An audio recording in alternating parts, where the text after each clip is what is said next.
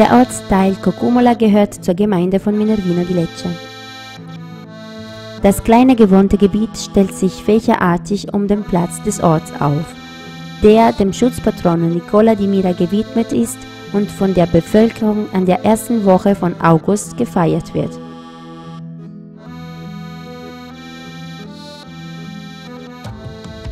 Hierum entstehen die alten Adelshäuser, unter denen der Palazzo Pasca mit seinen umfassenden Konturen hervorragt.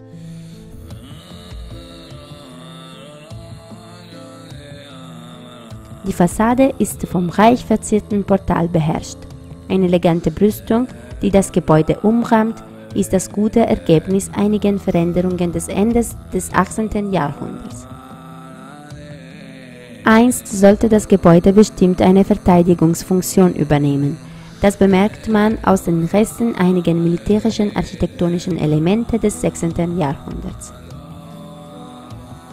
In diesen typischen salentinischen Gässchen scheint es, als ob die Gedichte des berühmten Schriftstellers Vittorio Bodini, die in La Luna dei Borboni gesammelt wurden, lebendig werden. Ein Dorf, der Cocumula heißt, ist, als ob man die Hände mit Mehl schmutzig hat und eine kleine grüne lemonfarbige Tour. Wenige Meter von dem Platz entfernt liegt die schlichte Pfarrkirche, die in den letzten Jahren des 19. Jahrhunderts restauriert wurde.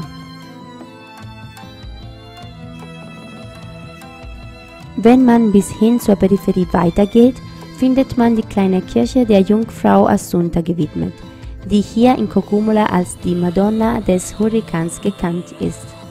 Die Kapelle wird in Erinnerung des heftigen Unwetters so genannt, das 1832 in der östlichen Seite des Salento herrschte.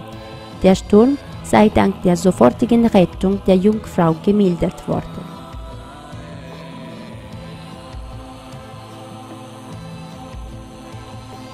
Cocumula ist den vielen auch dank der ausgezeichneten traditionellen Küche bekannt, die man in den verschiedenen Lokalen der Altstadt schmecken kann. Die richtige Gelegenheit, um die schönen Landschaften des Salentos zu genießen und gleichzeitig um die typischen Gerichten des Landes von Otranto zu probieren.